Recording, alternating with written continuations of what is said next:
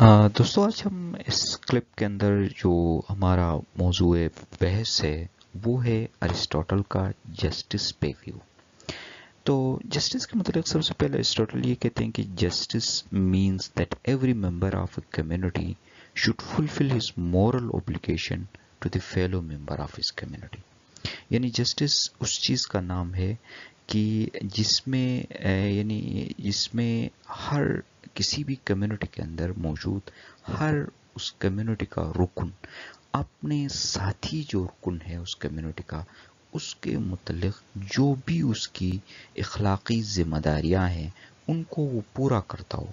यानी अपने माशरे के हकूक अगर अदा करता है तो समझो कि जस्टिस हो गई। ये व्यू है जस्टिस के मतलब अरिस्टोटल की। तो इसीलिए जो है ना अरिस्टोटल कहते थे कि जस्टिस क्या है? जस्टिस वर्चू इन एक्शन है। यानी खूबी का अमली जामा पहनाने का नाम जस्टिस है।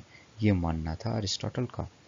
तो इसके अलावा जस्टिस को अरिस्टोटल ने ब्रॉडली अगर देखे तो दो हिस्सों में तकसीम करके देखा है। एक है इसका नैरो विजन, दूसरा इसका वाइडर विजन है।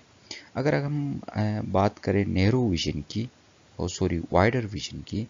तो वाइडर विजन में ये है कि जस्टिस मॉरल वर्चू या जर्नल एक्सलेंस या ये कह सकते हो कि जितने भी वर्चूज हैं, उन सबको मिला के जो मॉरल वर्चू बनती है, या फिर उन सारे वर्चूज को, उन सारे खूबियों को मिला के जो जर्नल एक्सलेंस बनती है, उसको वाइडर सेंस में मानते हैं।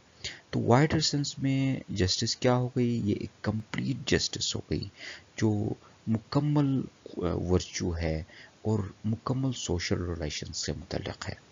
अब जो नैरो सेंस है, जो नैरो सेंस है, अगर हम नैरो सेंस को देखें तो नैरो सेंस में जस्टिस जो है वो पॉलिटिकल जस्टिस, यानी सियासी जस्टिस नैरो सेंस में है। और नैरो सेंस को फिर मजीद दो हिस्सों में देखते हैं।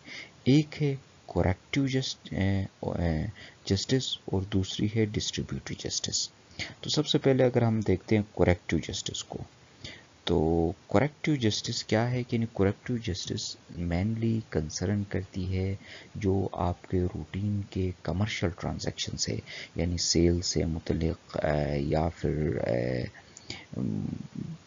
सिक्योरिटी से मुतलिक प्रॉपर्टी से मुतलिक लाइफ एंड ऑनर की सिक्योरिटी से मुतलिक।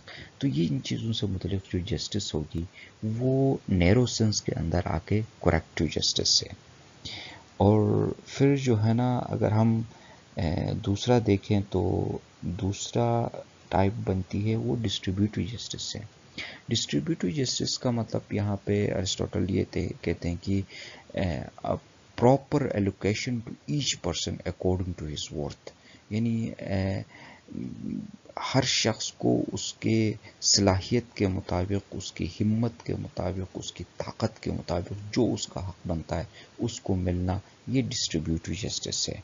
और डिस्ट्रीब्यूटिव जस्टिस जो है ना, सियासी प्रिवलेज से रिलेटेड है। और ये डिस्ट्रीब्यूटिव जस्टिस एक और बात याद रहे कि सारे सोसाइटीज़ के लिए सेम नहीं होती है।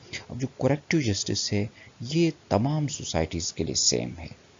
और वाइडर सेंस में जो जस्टिस है, ये भी तमाम सोसाइटीज़ के लिए सेम है। लेकिन अगर हम अगर हम बात करें अगर हम बात करें डिस्ट्रीब्यूटिव जस्टिस की तो डिस्ट्रीब्यूटिव जस्टिस तमाम सोसाइटीज़ के लिए सेम नहीं है, क्योंकि हर सोसाइटी के जो पॉलिटिकल प्रिवलेजेस हैं, वो दूसरी सोसाइटी से डिफरेंट होते हैं।